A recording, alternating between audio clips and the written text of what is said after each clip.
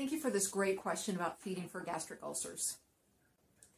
You definitely want to be using slow feeders for your horse's forage and taking his concentrated meals of either his ration balancer or his grain meal into as many different portions during the day as possible, making sure that he's got a bunch of hay in his belly before you give that. That slows everything down.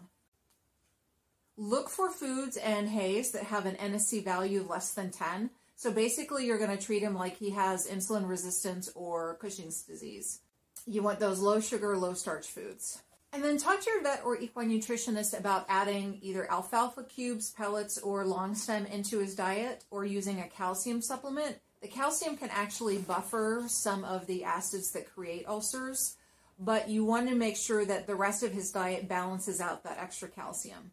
Also talk to your vet about doing a preventative dose of omeprazole as well.